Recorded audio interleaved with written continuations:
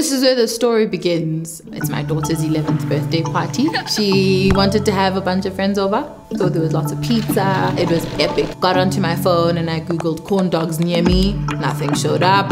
How do I not have corn dogs in Joburg? So I thought, okay, well then it's fine. I'll just make my own. Corn dogs were the number one favorite of the day.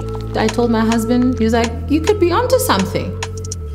So the rest is history. He was like, let's do something about it. I started calling and calling every hour for several days. I was very persistent.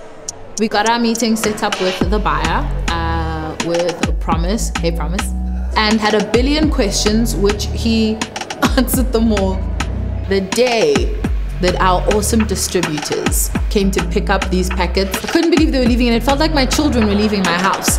So they entered stores and I tell you for the first week, myself, my husband, my staff, everybody in my family, we were finding every Checkers that we could and making sure the temperatures were the correct temperature, um, checking sure the boxes were stacked okay, watching people buy our product. It was incredibly well received.